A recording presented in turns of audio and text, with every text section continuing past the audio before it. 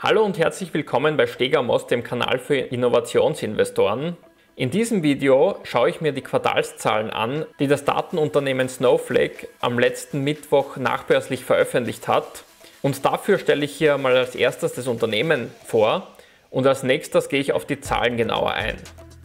Snowflake ist ein cloud-basiertes Datenverwaltungs- und Datenanalyseunternehmen, das explizit betont, dass sie kein klassisches Software-as-a-Service-Unternehmen sind, da sie ihren Kunden die Nutzung volumensbasiert verrechnen und nicht nach einem klassischen Abo-Modell. Das Produktportfolio des Unternehmens umfasst verschiedenste Datenmanagement-Lösungen, wie zum Beispiel Cloud-Speicher, Data Warehousing, Analyse-Tools und Tools zur Datenverarbeitung und zur Distribution und zwar insbesondere für größere Unternehmen, die riesige komplexe Datensätze sammeln und verarbeiten.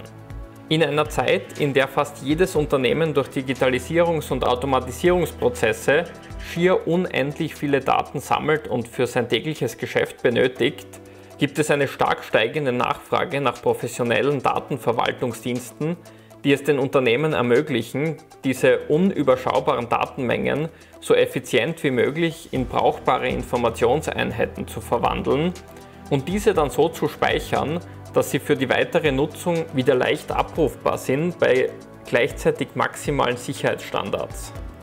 Und genau das bietet das Unternehmen Snowflake, wobei der Dienst dabei auf die Cloud-Infrastruktur von Google Cloud, Amazon Web Services und Microsoft Azure zurückgreift.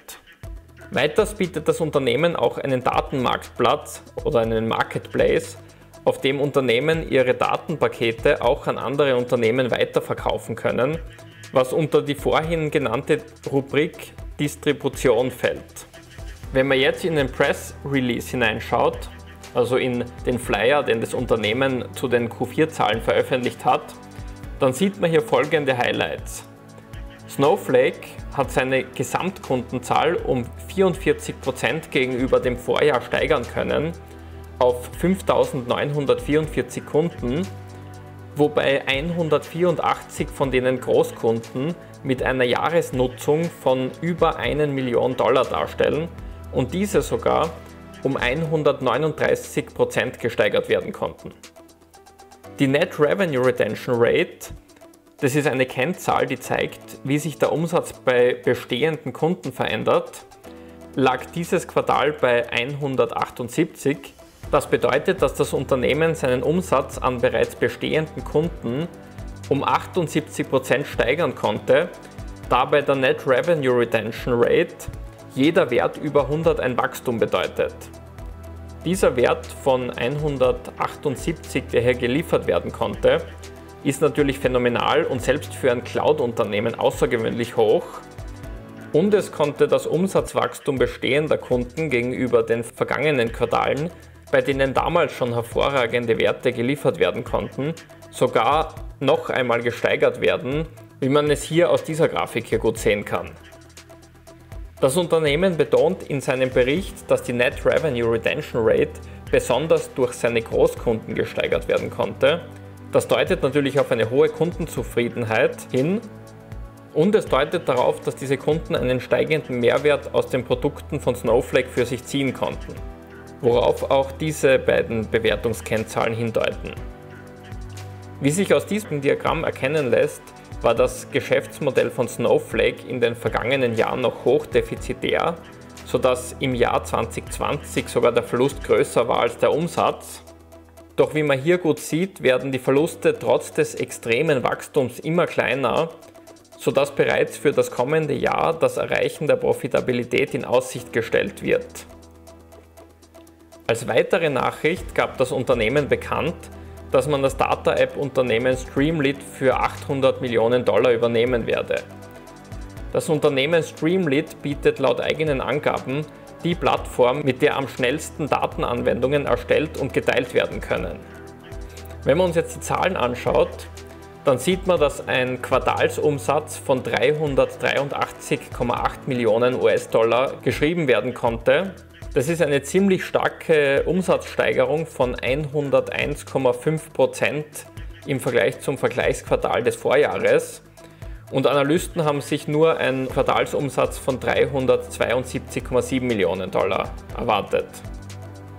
Der Quartalsgewinn, beziehungsweise in diesem Fall ein Verlust, lag bei minus 43 Cent die Aktie.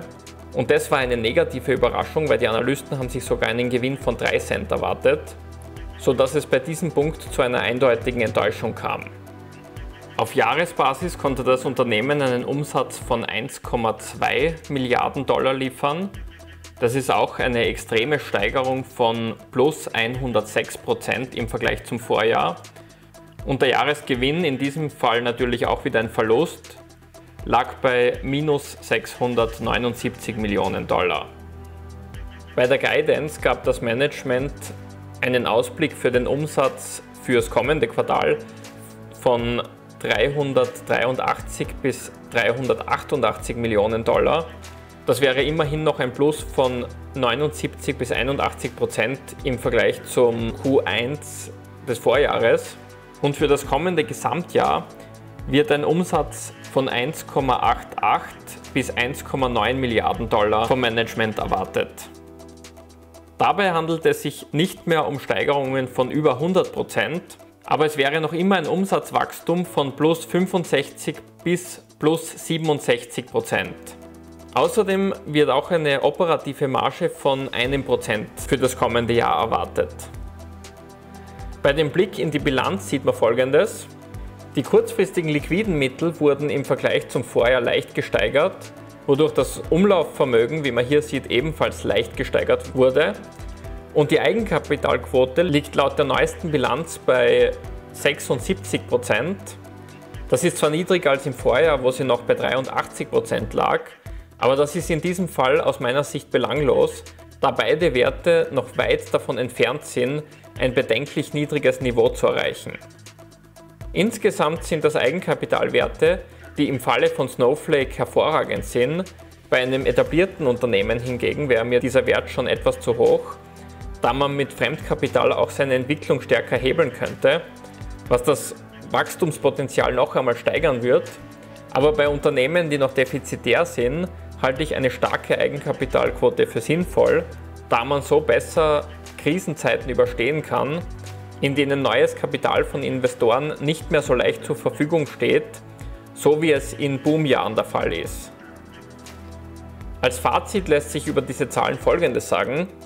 Und zwar, da das prognostizierte Umsatzwachstum für das kommende Quartal deutlich niedriger liegt als noch in den vergangenen Quartalen, wo man eben Umsatzwachstumsraten von über 100% gesehen hat, führte das zu Enttäuschungen an den Märkten, auch wenn die Werte von über 60% noch immer hervorragende Wachstumsraten sind, hatte man sich, wenn man die Kursreaktionen ansieht, wohl noch mehr erwartet.